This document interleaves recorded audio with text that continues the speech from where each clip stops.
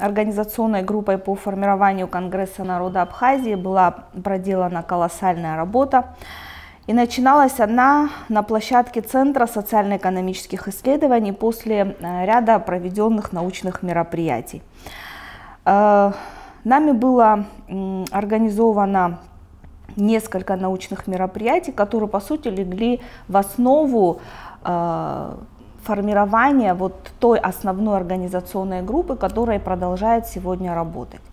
На первом этапе мы определились с численным составом делегатов Конгресса народа Абхазии. Э, и с, э, пошли мы в первую очередь по квотному принципу. Значит, квотный принцип предполагал общее число э, участников порядка 380 человек.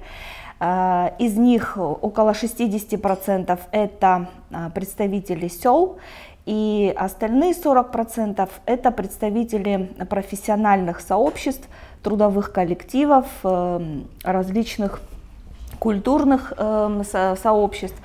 И э, поскольку, в Абхазии 110 сел, мы посетили абсолютно все сельские администрации, э, практически все сельские администрации, за исключением некоторых, и даже некоторые еще не представлены в в качестве делегатов Конгресса, но э, принцип остается открытым, площадка открыта. Я думаю, что делегаты из этих сел тоже будут э, э избраны.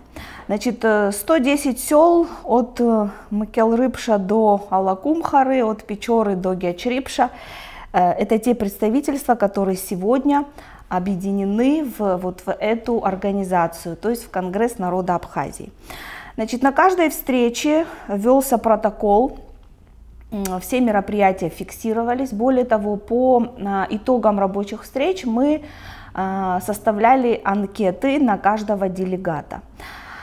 Э, среди наших делегатов представители разных национальных групп, разных национальностей. Это и абхазы, это и грузины, русские, армяне, это эстонцы, это немцы.